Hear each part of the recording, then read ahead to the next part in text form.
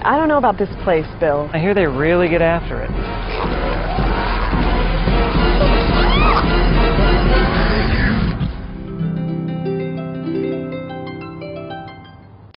I couldn't fathom the idea that this man is just sitting there about to die and nobody would help him. Shannon Martin saved a man's life, a man she didn't even know. And when you hear what this Meridian woman did, you'll understand why she's our Sevens hero. Would you be willing to give a part of your body away to save someone you've never met? Shannon did. She donated her kidney to a man she saw on TV. He needed help, and she came to his rescue without a second thought. Here is her incredible story of giving in this week's Sevens Hero.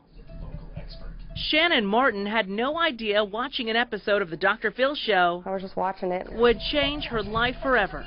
I've been a diabetic for 20 years. It was about this man, Daryl Neal of California. He had been on dialysis for seven years and desperately needed a kidney transplant, but family members weren't willing to donate. I was irritated, just mad that his family wouldn't help him. I, I can't fathom the idea of not helping my own family or a friend. I think they were just scared.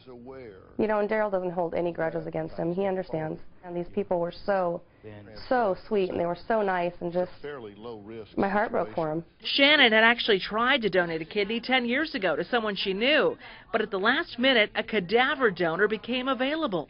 Fast forward 10 years, I see Daryl on the Dr. Phil show. I went to the website. Daryl was a complete stranger, but she didn't care. She wanted in. They send you a whole stack of paperwork. You have to be mentally sound, physically sound. After extensive testing, Shannon was deemed a match for Daryl, a man she had never met. It was a go. He was extremely overwhelmed with the fact that this was couldn't be for real. But it was real. In August, she traveled to San Diego and checked into Scripps Green Hospital for the surgery.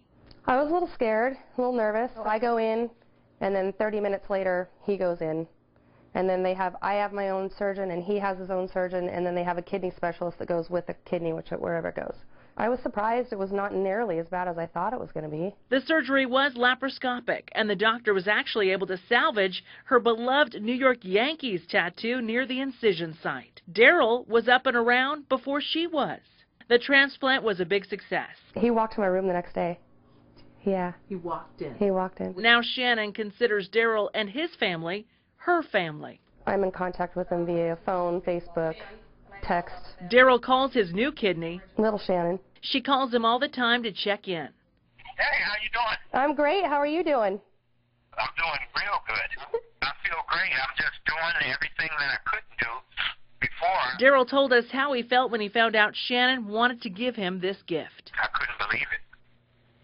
I thought that was the greatest thing. I, I was wondering what kind of people is in Idaho. He can't say enough about Shannon and how he feels about her. Oh, yeah, she's a lifesaver. I never thank her enough. I can never do it. I love these people. I consider them family. One question she gets a lot what happens if she needs a kidney one day? I'll cross that bridge when I come to it.